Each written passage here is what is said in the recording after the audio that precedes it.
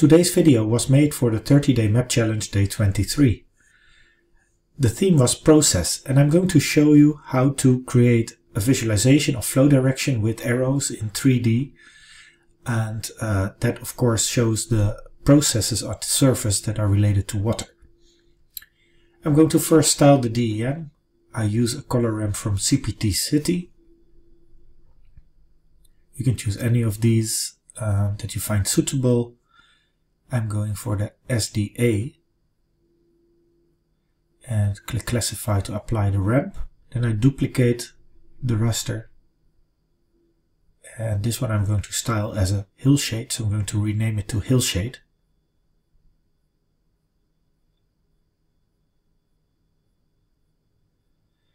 And I change it to the hillshade renderer. We need to tweak the settings a little bit to make it smoother. So I apply some resampling and also check this box for early resampling and now it looks nicer.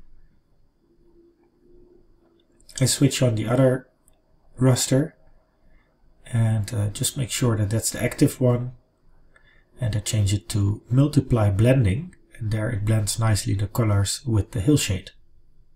And this will be our background. Next I'm going to calculate the flow directions and there's a new native tool that is based on the Saga Fill Sinks Wang and Liu algorithm. You can find it in the processing toolbox.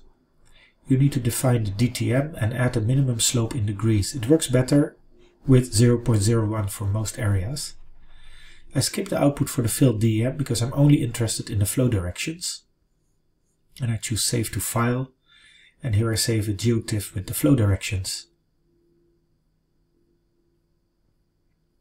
Then I run the algorithm. And here's the result styled with a single band gray. And uh, the values of the flow directions are encoded in the Saga encoding system. In another video I explain how this works. And uh, here I'm going to use the Crayfish plugin to convert the flow direction result from Saga to a mesh file. So install the Crayfish plugin from the plugins manager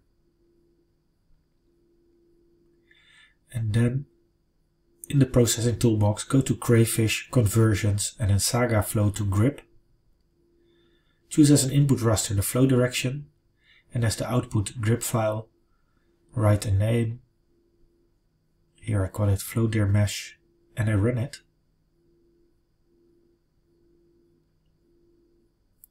This created the mesh. It's not automatically loaded. You need to refresh the browser panel and there you can expand flow dir mesh and drag the mesh layer to the map canvas. It will take some time to load. Once it's loaded, you'll see a yellow map in the map canvas. Open the styling panel and uncheck the contour and check the arrows. And then we're going to set the arrows with a fixed arrow length. Let's try first two. It's a bit of trial and error depending on the pixel size and the zoom level because if I zoom in more, you'll see more details, but uh, I see also the uh, flow direction raster is uh, still on. That has to be switched off because I want my arrows on top of the stout DEM. So I fix the arrows to a grid. If I make it coarser, then I can also use uh, larger arrows. And uh, I can also change the color. Let's use some uh, water-related blue.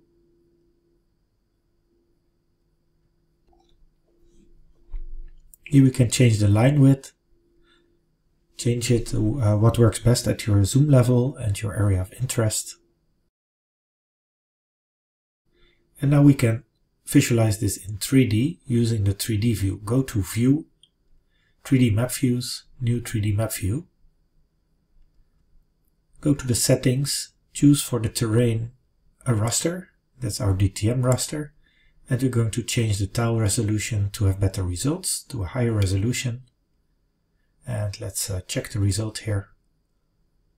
You can even tweak it further and uh, make better visualizations but this already shows the flow direction in arrows which is useful for water related processes or uh, gravity related processes at the surface